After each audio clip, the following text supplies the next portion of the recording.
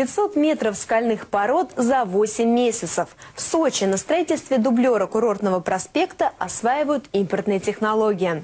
Новая магистраль должна будет разгрузить задыхающийся в пробках центр города. Но состоит она в большей степени из мостов, эстакад и тоннелей. Вот для их проходки и решили перенимать европейский опыт. Подробнее в репортаже моих коллег. И землю пробурить и сваи забить – все это может одна гигантская машина. Установка итальянского производства, но и в российских тоннелях работает отлично и значительно ускоряет сроки строительства. Это один из тоннелей дублера курортного проспекта. Если бы не было машины, то строители работали бы в два раза медленнее. Старая технология предполагала деление тоннеля на две части. Сначала строили верхнюю, потом приступали к нижней. Фирма-подрядчика с помощью нового оборудования возводит обе части одновременно. Есть непосредственно своя технология, которая, которая обуславливает э, очень точное э, по длине э, большое бурение. Э, такие установки, э, их не так много разработано, и вот одну из них нам, э, одну из них видов пришлось приобрести. Не пришлось, приобрели. Установка, которую используют для строительства этих тоннелей, оказалась не только практичной, но и экономичной. Для управления почти 100-тонной машиной требуется всего 4 человека. Да и сама технология возведения этого тоннеля сокращает затраты подрядчика на рабочую силу.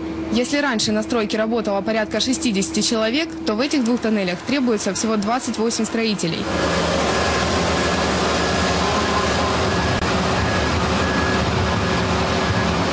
Тоннель на Мамайке строят в три этапа. Первый – проходка. Это бурение земли, чтобы образовалась искусственная пустота, пространство будущего тоннеля. Из полутора километров рабочие прошли уже 455 метров.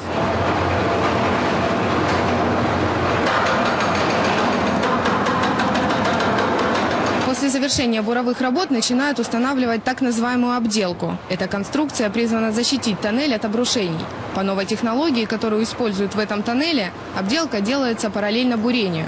То есть после того, как завершено 20 метров проходки, строители начинают устанавливать на этом участке защитную конструкцию. Здесь она состоит из арматуры, которая впоследствии заливается бетоном. На завершающем этапе строители уложат асфальт и сделают уже отделочные работы. Такую тройную технологию специалисты фирмы-подрядчика переняли от европейских фирм. Во многих зарубежных странах тоннели строятся именно по такому принципу. Мы сделали здесь очень серьезные и хорошие успехи. Мы ведем э, еще э, работы на третьем, на четвертом тоннеле. Там у нас э, сегодня тоже принимаются меры об усилении работ. Было некоторое отставание там по понятным причинам. Вот, тем не менее, сейчас мы там сделали замену субподрядчиков и усилим эти работы. На конечном участке дублера курортного проспекта фирма-подрядчика делает два тоннеля в обе стороны движения. Протяженность каждого из них полтора километра. Для того, чтобы ускорить сроки строительства, работы начали с середины пути и ведут их в четырех направлениях. С начала года строители уже пробурили около 500 метров земли и считают, что это хороший результат. Увидеть свет в конце тоннеля, как говорят руководители, можно будет уже в следующем году. Кристина Колесникова, Андрей Кизенко. Сочи. Специально для программы «Транспорт».